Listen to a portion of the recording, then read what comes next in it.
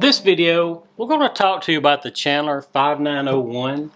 This particular machine does not need electricity. It's a manual industrial button sewing machine used in a wide variety of different types of applications. I know dry cleaners use them a lot, drapery shops, because not only can you do buttons, two-hole and the four-hole uh, types of buttons, you can also do just a cuff tack like on a suit or a pair of dress slacks or skirt with this particular machine. Does several different sizes of buttons and we can adjust that very easily on the machine. The machine is very easy to thread. Uh, we have just a couple of guides here. We go through our tension, through the second tension. There's guides right along the way to our needle and it does thread front to back. There is a looper here that will engage once we start using the machine. This is not like a serger. We don't have to thread the looper.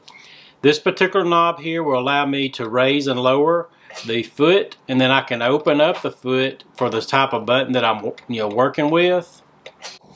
There's some easy controls on this particular machine we're just going to briefly point out. Here's where I get my needle clearance. If I'm working with a four hole button or a two hole button, I can get the spacing correct for the type of button that I'm working with. This lever here raises and lower. I guess you can say the pressure foot of what's holding on to my button and this will start to engage the machine. Here's my hand wheel that I'll crank that will do the button. And then you select over here whether I'm doing a two hole or a four hole uh, type of button. So let's show you how this machine works. I want to give you just a brief overview of what all the controls are on this machine. This machine is very easy. There's not a lot of controls that you've got to change. This changes my clearance on the holes of the button, so where my needle will come down, so you get the holes lined up for the button that you're working with. This will raise and lower what's grabbing the hold to the button. And then I can use this lever right here to open it up to get the clearance set so I can place my button where I need to. And then once I get it, all I need is just to securely hold it down. Then I'll lower this back down and I'm ready to get this set for this particular button. During an application like this, you're going to be sewing the same button on over and over and over. So once you get it set for this particular size button and the spacing, you can just continue on and sew buttons on till you need to change it. It's very easy to go back and forth. So you want to make sure the machine is set for a four hole uh, button. That's what I've got here, and that's what we recommend that you use. If you're using two hole buttons, just keep in mind that you may not need to do as many stitches because it will bog the machine down and it fills up your button with thread. It's going to make it very hard to put that button on when your user is trying to put the garment on. And we can easily just lock that down. So what I do here is I engage my machine and make sure I move my blue lever over so I can, the machine will come down. And looky here, I got this one actually spaced perfectly and I just go back and forth just at a constant rate of speed and it finished doing that. Now I'm ready to raise it up.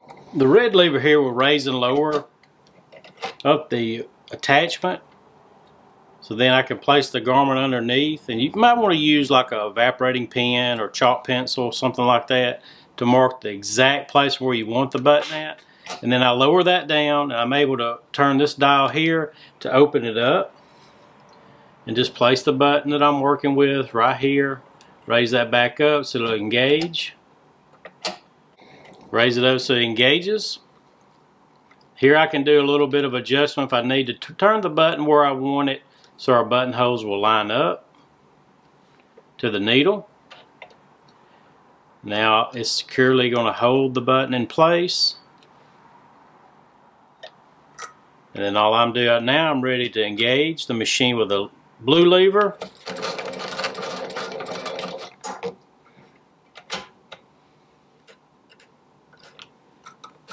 and I've attached the button. Ken Sewing Center provides product support and help on the operation of the Chandler CM591. We carry all the parts and accessories for the machine and can help you with the operation of the machine. Feel free to give us a call for any of your semi-commercial or commercial needs. We'll be glad to help you anytime.